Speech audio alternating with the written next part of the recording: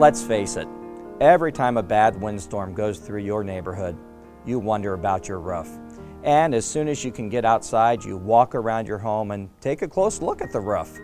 Most roofing materials depend upon gravity and possibly failure-prone sealants to hold them in place during high winds.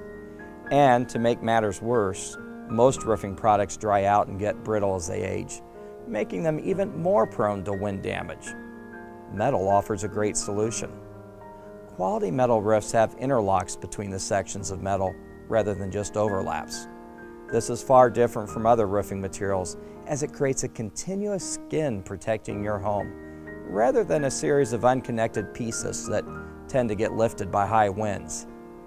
And, of course, when winds and uplift pressures cause those other materials to separate, water can get in as well.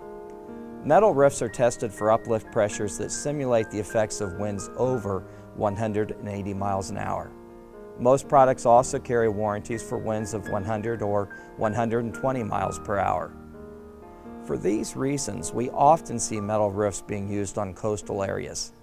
They offer great long-term protection, which will keep you from worrying every time a bad storm blows through your area.